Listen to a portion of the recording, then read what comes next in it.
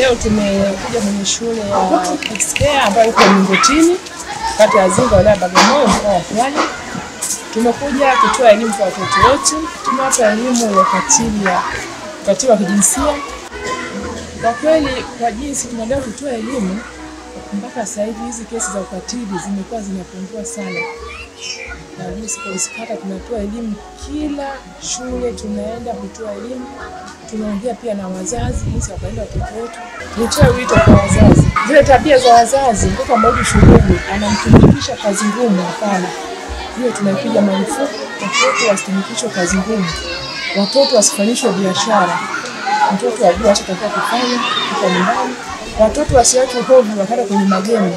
Wazazi pia nawaonya, usipende kuwapa watoto simu wakachezea, kwa sababu sasa hivi ni utandawazi, wewe kujua mtoto atafanya nini kwenye ile simu. Kwa naomba niwasihi wazazi the police officers. We have learned many things. One of them is it is about gender violence. We have learned about our rights and other things. We also welcome everybody to come and visit our school. Would like would like for them to give us more information about gender, gender discrimination and gender violence. We, we also would like to thank them for coming and visiting our school. I think they have enjoyed and have seen the wonders or greatness of our school. Tumejifunza tuna haki ya kusoma, haki ya kulindwa, kupendwa na pia tukatae zawadi tunazopewa kwa watu tusiowajua.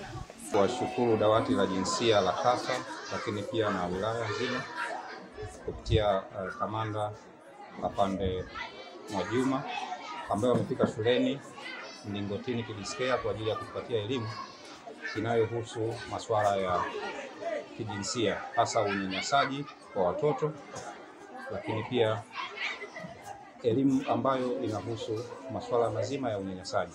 Tunawashukuru sana, kwani wamegusia sehemu nyingi ambazo ni muhimu kwa kutoa elimu kwa watoto ambazo zinahusu eh, kunyanyaswa kwa watoto, masuala ambayo yanaendelea sasa hivi ya ubakaji. Afande na timu yake wametueleza vizuri sana. Tunawashukuru sana na tunaendelea sisi kama walimu kuwapa elimu wanafunzi wetu, wanafunzi wetu hapa shuleni, lakini pia na jamii ambayo inatuzunguka hapa Mlingotini Care, kuungana na afande kutupa elimu ambayo leo hii watoto wataenda kuitumia wanapokuwa manyumbani kwao, wanapokuwa na marafiki zao, wanapokuwa na jamii ambazo zinawazunguka huko majumbani. Tunawashukuru sana sana sana, na pia tunawakaribisha kwa wakati mwingine muweze kufika katika shule yetu na kufanya mambo mengine zaidi zaidi ya haya ambayo wamefanya leo. Shauri wangu kwa watu ambao wanafanya ukatili, kwanza waachane na vitendo hivi vya ukatili katika jamii ya watoto ambao tunaishi nao, kwa sababu haina manufaa yoyote. Tunawaomba kama mwalimu, nawaomba waachane na vitendo hivi, kwani ni vitendo vya udhalilishaji ambavyo havina maana yoyote kwao wao wanaovifanya.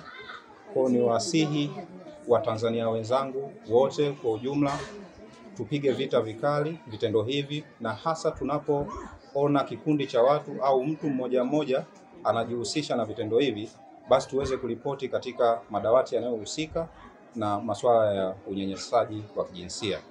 Majina anaitwa Mwanguka Malingi, ni meneja wa taasisi ya Tanzania ambayo inamiliki shule ya awali na msingi Kids iliyoko Mlingotini, kata ya Mlingotini, kitongoji cha Bisibisi, wilaya ya Bagamoyo, mkoa wa Pwani.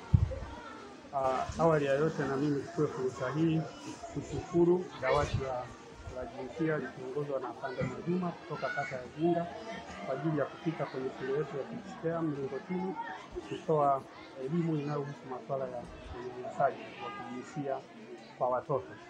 Kwa kweli ni jambo la kushukuru, elimu inatolewa vizuri, watoto wameelewa. Tutaenda kuwasaidia watoto kuwa na uwezo wa kujitambua na kuripoti matukio yoyote ambayo yataendana na unyanyasaji wa kijinsia kwa watoto.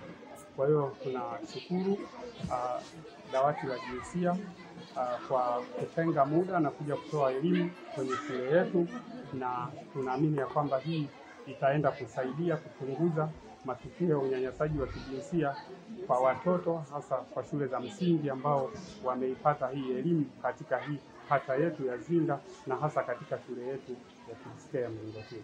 Tunawakaribisha tena wakati mwingine watutembelee na kuja kutoa elimu hii mara kwa mara kwa ajili ya kuwajengea uwezo watoto wa kujitambua na kuweza kuripoti au kuweza hata kukwepa viashiria vyovyote vitakavyoenda kupelekea unyanyasaji wa kijinsia. Ibariki